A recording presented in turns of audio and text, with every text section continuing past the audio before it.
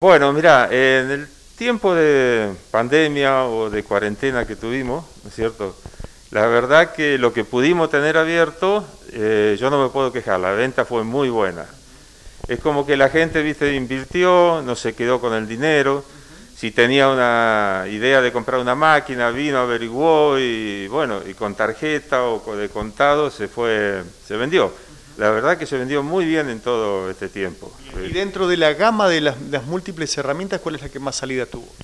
Y la que más salida tiene es la línea Sensei. En estas máquinas, por ejemplo, en las máquinas lo que son de arrastre, la línea Sensei, lo que más se vendió, y en lo que es motoguadaña, motosierra, implementos como cortacerco, sopladores, lo que más se vende es lo más económico, ¿no es cierto?, los chinos, a pesar de que la línea hecho se vende muy bien también. Eh, Sensei es chino. Sensei es chino. ¿Y hecho? Y hecho no, hecho es netamente Japón. Eh, hecho tiene una sola fábrica en Japón, es decir, una sola fábrica. Fabrica únicamente en Japón. Y lo otro es chino, pero un chino bueno, que es, digamos, lo trae el mismo importador de hecho, ¿no es cierto? Entonces ellos tienen la característica de traerte algo básicamente bueno y con repuesto, ¿no es cierto? Lo que ellos te traen te garantizan el repuesto, igual que hecho, tanto las máquinas chinas como las hechos tienen seis meses de garantía, por ejemplo, ¿no es cierto? Así que ahí vos te das cuenta que esta gente es seria y te trae algo, ¿no es cierto? Si bien más económico, pero de muy buena calidad también. Mencionabas, Marcelo, eh, fuera de micrófono, que la, persona que lo usa con mucha asiduidad se lleva una moto guadaña o una eh, eh, eh, o alguna maquinaria de la firma Hecho, quienes lo usan este, hasta para trabajar constantemente. Aquellos que lo usan circunstancialmente o para hacer alguna pequeña changa de vez en cuando, Sensei. Sensei o Sisen. Es decir, Sensei y Sisen son los dos chinos, ¿cierto? De muy buena calidad. ¿Sabe cuál es la diferencia? Que Sisen entró primero, ¿no es cierto? Se vendió mucho, dio buen resultado. Entonces la gente dice, yo quiero la Sisen porque fulano de tal tiene la Sisen y anda bien. Pero la Sensei es muy buena calidad también, también con todos los repuestos, pero ya te digo, la otra entró primero, entonces la gente como que está acostumbrada a la Sisen supongamos que llega una persona y dice, Marcelo, yo la verdad que este, solamente sé cómo funciona, pero no tengo demasiado conocimiento sobre la mecánica de, lo que me voy a llevar. ¿También vos le brindás algún asesoramiento? ¿Hay una capacitación? Porque sabemos que a su vez vos te has capacitado.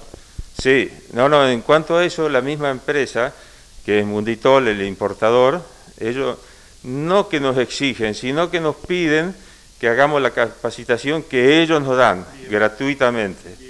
Tanto cuando entra un producto nuevo, para explicarte qué es el producto, cómo está hecho, cómo, qué clase de motor tiene, para qué sirve, ¿no es cierto?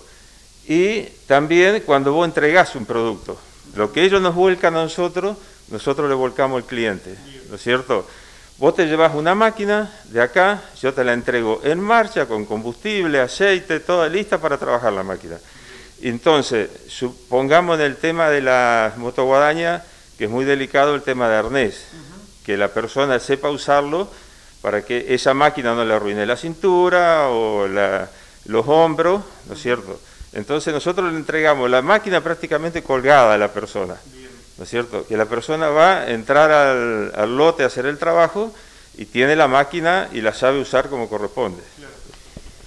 Es difícil establecer comparaciones con otros años, porque digo, este, como local comercial es, eh, nuevo, siempre te conocimos como mecánico de, maquinaria, pero este año con las dificultades económicas este, que acarrió, así todas las, ventas, me decía, fueron buenas. Es como que eh, esa historia donde la gente quiso invertir en... Eh, y, capitalizarse eh, sigue presente.